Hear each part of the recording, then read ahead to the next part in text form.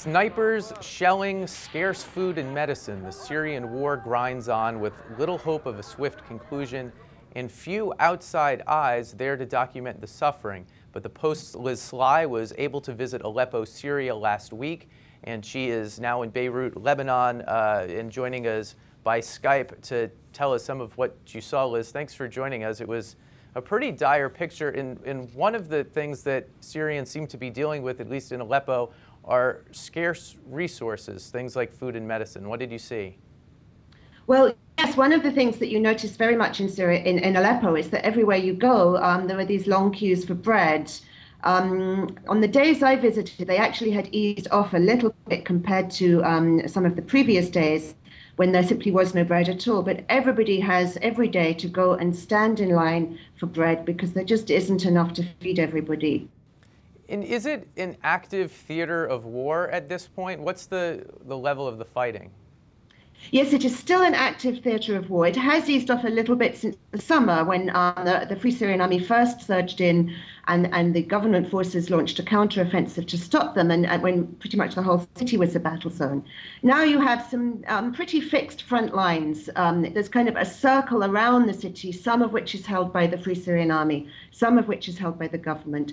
But basically, there is fighting going on in Aleppo, somewhere in the city, all of the time, and you hear it there's either shells going off a long way away or there's shells going off a little closer. And can we tell who's winning? Inside Aleppo, there's really a stalemate. In the big picture in the country, the rebels have been making gains against government forces. But one of the things they've told me is that they've kind of given up trying to take civilian neighborhoods at the moment because the story of Aleppo has really showed what a high price the civilians pay for that. What happens is the Free Syrian Army goes into a neighborhood, it takes control from the government forces, kicks the government forces out, but then the government comes back with heavy shelling and airstrikes, and basically it's only the civilians who suffer. And that risks losing the FSA a lot of support. It's one of the things that you notice in Aleppo as well. The fighters are not that popular. Tell us about the people you met there. What is their condition? What is their demeanor, their outlook? We did run into one woman in the street who was kind of begging. She didn't look like a beggar. It didn't look like she'd been a beggar before, but she seemed pretty desperate and she had two young children in tow. One of them didn't have a coat and was drenched through. So I stopped and talked to her. She had um, lost her husband a couple of months ago. He'd gone out to buy bread and had been killed by a sniper on the way home. Um, she had no income, nobody to support her. Um, she has some relatives, they give her some money, but she told me that on Sundays they just don't eat at all.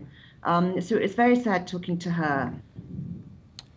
You also met uh, a widow whose husband had, had died in the early days of the fighting and seemed to despair of what had happened in the nearly two years since.